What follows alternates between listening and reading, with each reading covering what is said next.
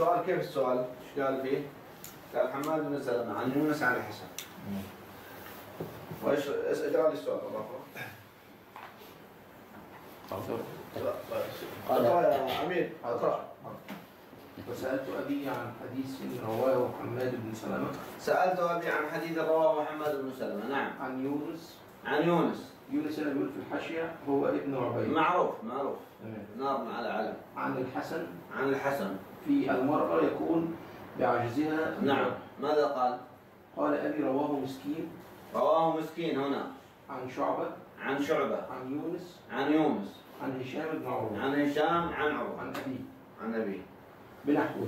بنحوه. قال أبي حدثنا النفيلي عن مسكين. هنا في جواب حدثنا النبيلي عن مسكين وكان يذاكرون. هنا في جواب إنه ال- بيوقع الحديث أبي أبي حاتم. هل هو يرجح شيء من الحديثين؟ وبيقول له قد كان يذاكرهم يعني بيرجح إن ده كان بيذاكرني يعني يمكن يكون هو أكثر تمييلا له. يرجح رواية مسكين يعني. ما رأيكم؟ أنا ما فهمت. أصلا قال أبي حدثنا ها؟ ما لكن فائدتكم إيش تقول؟ ما فهمنا كده ما فهمنا يعني شو قال أبي حدثنا النبوية ما فهمنا قال حدثنا النبيلي وأورد هذا السند معناه هنا في خلاف بين شخصين صح؟ الخلاف على من؟ على يونس على يونس يونس أليس كذلك؟ واحد يقول يونس هشام عن عروة وواحد يقول يونس عن الحسن الآن هل يونس يروي عن هشام؟ نشوف ترجمته إيه. وهل يونس يروي عن الحسن؟ أنهي أكثر يونس أخص تلاميذ الحسن. حتى إن بعضهم يرجحه أحيانا على الحسن من حيث الجلالة يعني. يعني الحسن البصري من أجل التابعين. وكان يعني عظيما جدا يونس بن عبيد كان للحسن تلاميذ آخرين. لما مات الحسن ما حددوا حتى مات يونس. لجلالة يونس. ماشي. منهم أيوب السختياني يعني ده طريق ال- الجده بالنسبة له. نعم. ده طريق الجده هذا جادة رواية يونس عن هشام مش عارف أنا صراحة يعني أول مرة ممكن نشوف بس ترجمته أظنها موجودة لأن هشام ذهب إلى العراق.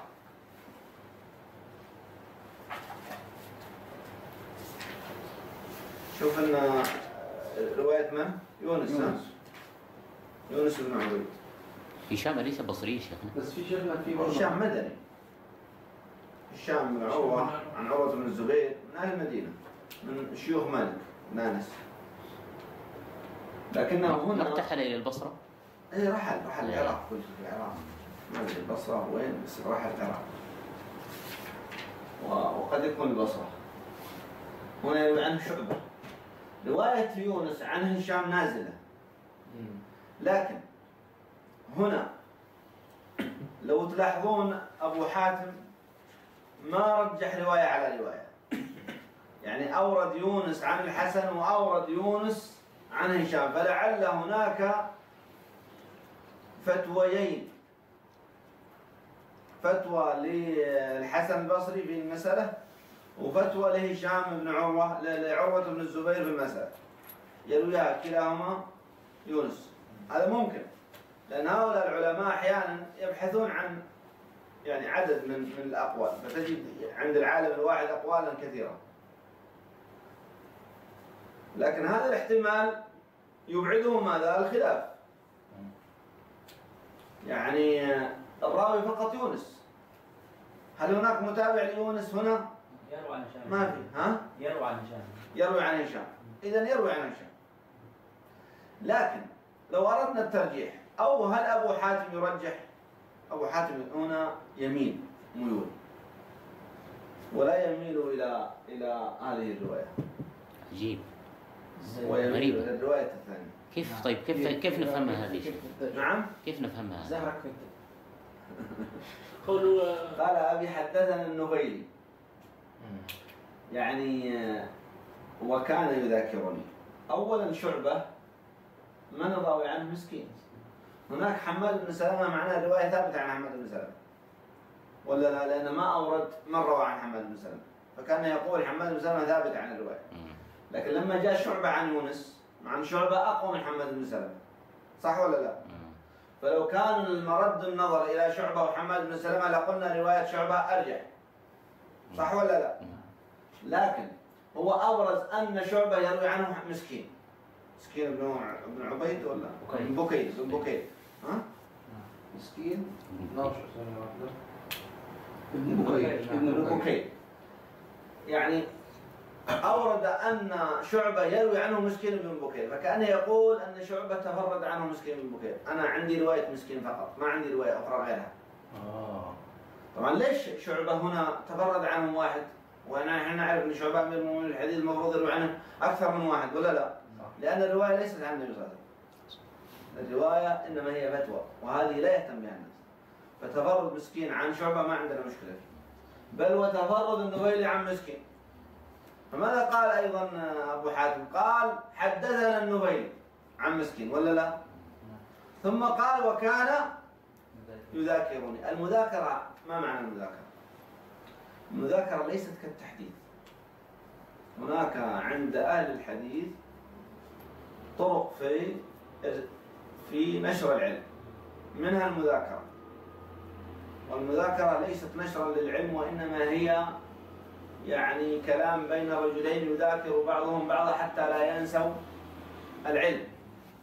وأما التحديث أن يعقد مجلسا فيجلس ويكون الطلاب ويحدثهم حدثنا فلان حدث ليس من باب شخصين يعني يسأل أحدهم الآخر ويغلب أحدهم الآخر ويعني يتباريان أحيانا. هذه المذاكرة في الغالب أنها تكون للمراجعات وأحيانا تكون فيها شيء من المغالبات. فتجده يقول شعبة عن يونس ماذا عندك فيه؟ فيقول عندي نعم حدثني مسكين. أو عندي مسكين عن شعبة. حتى لا يقولون بصفة التحديث. يعني بلفظ التحديث لا يذكرون. يقول ما روى فلان عن فلان؟ يعني أعطيكم قصة. الإمام أحمد. آه، أبو بكر بن الزنجوي ذهب إلى مصر فالتقى بأحمد بن صالح المصري وكان حافظ مصر. فسأله من أين؟ قال من العراق من بغداد. فسأله عن الإمام أحمد. قال هو جاد فرحب به وقال إني سآتي هناك فأريد أن ألتقي بك حتى تدلني عليه. ففعلا جاء أحمد بن صالح المصري والتقى بأبي بكر بن زنجوي وذهب به إلى الإمام أحمد. فلما علم به الإمام أحمد نهض والتزمه ويعني هذا عالم مصر وهذا عالم بغداد. وجلس يتذاكران قال ابن زنجوي فما رأيت مذاكرة أحسن من مذاكرتهم. قال ماذا. تعال نروي أحاديث وكان أحمد بن صالح المصري قد جمع أحاديث الزهري. الذي جمع حديث الزهري معناه أنه ينبغي أن يكون هو الأقدر وهو الأقوى. فقال له الإمام أحمد تعال نتذاكر ما روى الزهري عن أصحاب النبي صلى الله عليه وسلم.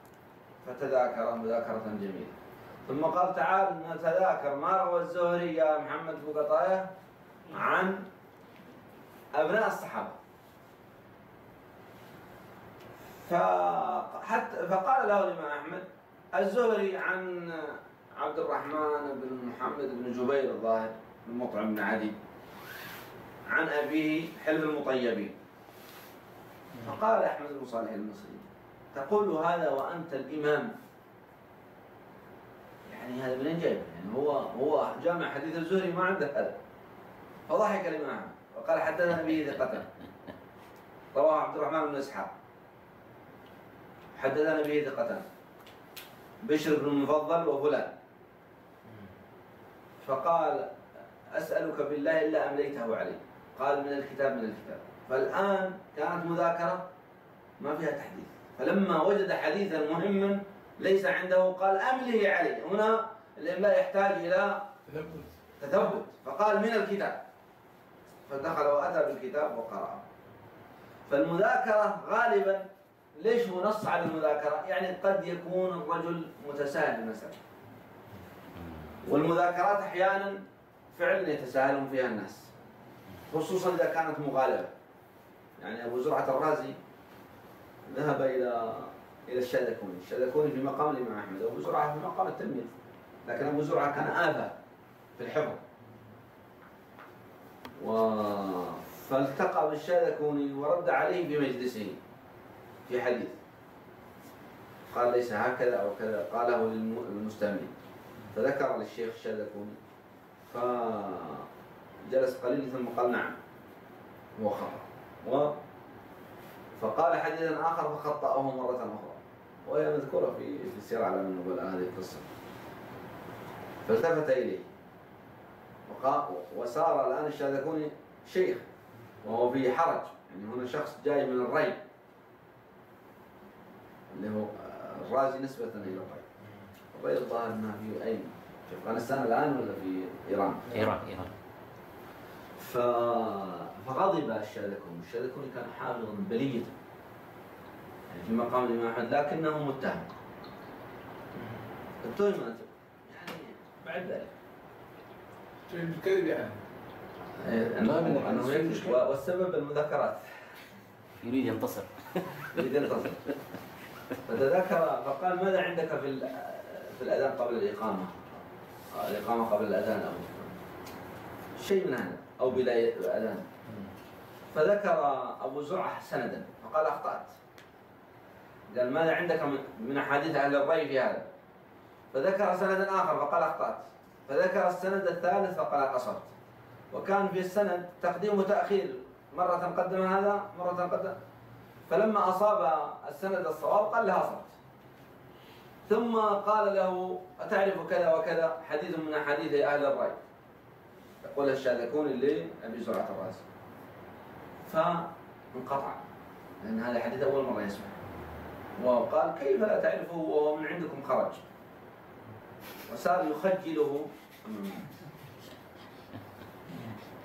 فرجع منه مغموم وكان معه صالح جزرة. الظاهر صالح بن محمد. قال لا عليك فإنما وضعه الساعة. وصراحة دائما بيحب يأصل يحب يهزر الشاهد المذاكرات تدل على آه، أن المسألة قد لا يكون فيها تثبت قوي. وبالتالي هنا كأن أبي حاتم أبا حاتم يرجح حديث حماد بن سلمة مع ح- مع شعبة أقوى. لماذا؟ لأن هذا كان يقوله بالمذاكرة هذا أول شيء. أول قرينة ما هي؟ أن النفيلي ذاكر به ولم يحدث. يعني لم يقله على سبيل التحديث. الثاني أن رواية يونس عن الحسن هي المشهورة. شهرة رواية يونس عن الحسن بخلاف لكن هذه هذه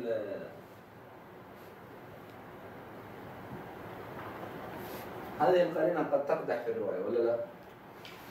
يعني جادة يعني جادة هي جادة يونس عن هشام هي ال- هي الأقرب إلى خلاف الجادة لا ولا لا؟ آه بالضبط هو في حد بالضبط. ثالث- في حد ثالث. وبالتالي النفيلي عنده عنده قرينتين متعارضتين القرينة الأولى التي تؤيد روايته أنها خلاف الجادة. والقرينة الثانية التي تدحض ذلك أو تضعف روايته أنه قالها مذاكرة. في المذاكرة وقد يكون التبس عليه حديث بهذا. وبالتالي أبو حاتم الرازي أورد هذين الطريقين وسكت. وإنما ذكر أنه قاله في المذاكرة وبالتالي الترجيح بين هاتين الروايتين فيه شيء من الصعوبة. المهم هذا السند ثابت وهذا السند ثابت لكن أيهما الأرجح؟ هذا يرجح خلاف الجادة؟ وهذا يرجح لأن حماد بن سلمة فيه شيء من الضعف ترى. وفي كمان شيخنا حماد بن سلمة. فيه شيء من الضعف فقد يكون سلك الجادة. وبالتالي الترجيح بين هذين الحديثين فيها شيء من الصعوبة. ما هو ما هو الصعوبة؟ ما هي الصعوبة؟ هنا شعبة. ومسكين يروي عن شعبة ومسكين فيه شيء من الضعف فيه شيء من المسكنة. لكن روايته الحديث عن شعبة عن يونس أولا فيه نزول ثانيا خلاف الجادة هذا كله يقوي هذه الرواية. أما هذه الرواية فلأجل أن النفيلي يرويه مذاكرة فقد لا يكون هذا السند موجودا أصلا. قد يكون أخطأ في السند ب- ب- بأصله. فهذا يرجح أن رواية عما المسألة وبالتالي لهذه ما يرجحها ولها ما يضعفها المهم أنها حتى لو كان في شيء من الضعف تدل على أن الحسن روايته لها أصل. اذا هذا يرجح رواية يونس. لماذا؟ ما دام إن عندنا رواية حماد. ما دام رواية حماد أوثق وفي عاصم الأحول موجود قد يكون أبو حاتم مطلع عليها. لماذا اوردوا هذه؟ لأن هذه هناك ما ينصرها. ما هو؟ النزول وخلاف الأصل. فقد يكون هناك رواية أخرى غير هذه. رواية عن عروة بن الزبير وأنه أفتى في نفس المسألة بما أفتى به الحسن البصري وضحت المساله لكنه يقول أنا مش متشكك في هذه الرواية بسبب أن النفيلي قالها. في أشياء لابد تكتبها يعني ما تخلونها. في أشياء فوائد لازم تكتبونها. من هذه الفوائد ذكرنا لكم السؤال عن المقطوعات يدل على أن ما في شيء مرفوع. أو أن المرفوع غير صحيح. موجود لكن لا يثبت عندهم فيبحثون عن الفتاوى. هذا شيء. الشيء الثاني المذاكرة تدل على عدم الضبط. لما يقول لك ذاكرني به أو أخبرني به مذاكرة. إنه لم يخبرني به وهو متهيئ للتحديد وفي المذاكرة يحصل الإغراب ولذلك ممكن واحد يجيب لك حاجة ما هي موجودة أصلا.